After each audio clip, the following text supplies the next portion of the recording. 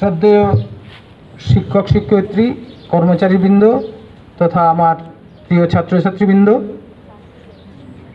আজ চোদ্দোই অক্টোবর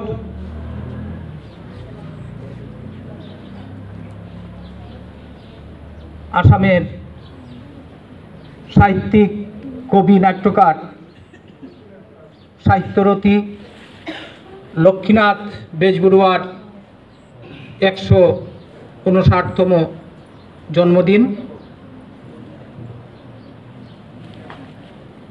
লক্ষ্মীনাথ বেজবড়ুয়া আঠারোশো চৌষট্টি খ্রিস্টাব্দে জন্মগ্রহণ করেছিলেন। তিনি তার স্নাতক ডিগ্রি লাভ করেছিলেন কলকাতা বিশ্ববিদ্যালয় থেকে। তারপর তিনি আসামের ভাষা সাহিত্য নিয়ে অনেক নাটক, গল্প, উপন্যাস, কবিতা রচনা করেছেন। ভাষাকে আধুনিক ভাষায় রূপান্তরিত করেছেন।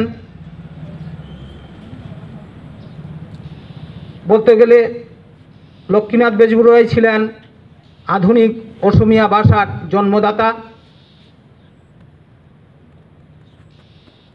তাই আমরা আজকের দিনে এই কবি সাহিত্যিককে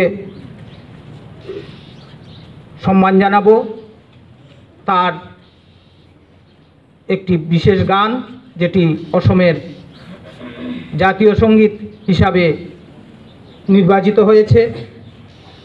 ও মোর আপনার দেশ, যখন তোমাদেরকে কমান্ড দেওয়া হবে সেই গানটি গাওয়ার জন্য, তখন তোমরা সবাই একসঙ্গে মিলিতভাবে গানটি গাইবে।